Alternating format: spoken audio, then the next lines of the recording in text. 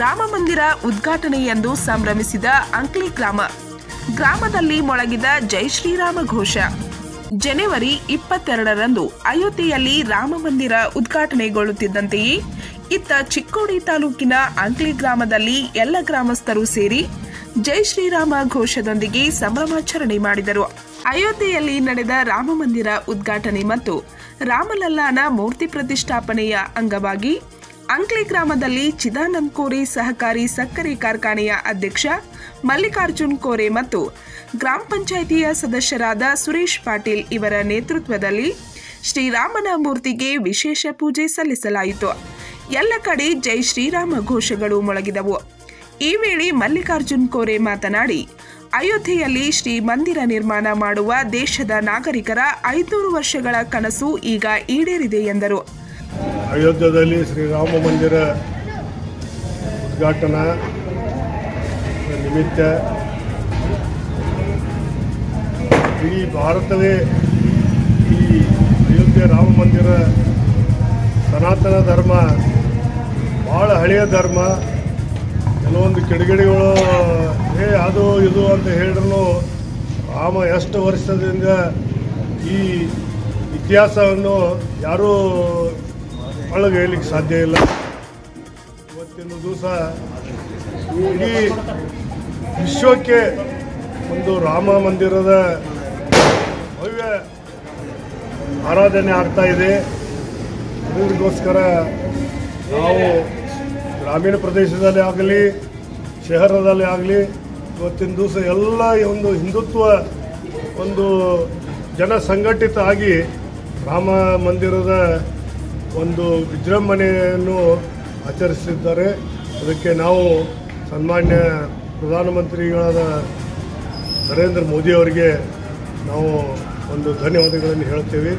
ಮಗದ ವತಿಯಿಂದ ಹೇಳಿ, ಪ್ರತಿಯೊಂದು ಸಣ್ಣ ಸಣ್ಣ ಹಳ್ಳಿಯಲ್ಲಿಯೂ ಕೂಡ ಇವತ್ತಿನ ದಿವಸ ರಾಮ ಮಂದಿರದ ಒಂದು ಉದ್ಘಾಟನೆ ಸಮಾರಂಭದ ನಿಮಿತ್ತ ತಮ್ಮ ತಮ್ಮ ಊರಲ್ಲಿ ಎಲ್ಲ ತಮ್ಮ ಒಂದು ಪ್ರಸಾದ ಆಗಲಿ ಗುಡಿ ಸ್ವಚ್ಛ ಮಾಡೋದು ಹಾಗೂ ಅಲ್ಲಿ ಅಭಿಷೇಕ ಎಲ್ಲ ಮಾಡಿಸಿ ಒಂದು ದೊಡ್ಡ ವಿಜೃಂಭಣೆಯಿಂದ ಎಲ್ಲರೂ ಇದು ಮಾಡ್ತಾ ಇದ್ದಾರೆ. ಎಲ್ಲರಿಗೂ ಮತ್ತೊಮ್ಮೆ ನಾನು ರಾಮ ಮಂದಿರ ಪರವಾಗಿ ಧನ್ಯವಾದಗಳು.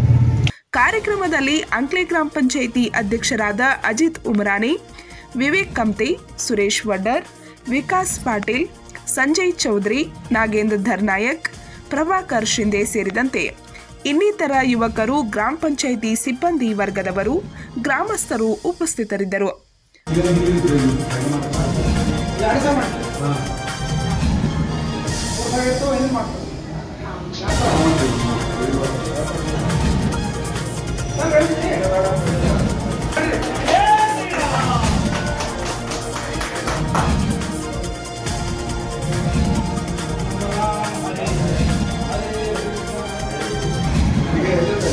seven, eight, ఇక్కడ ఉంటే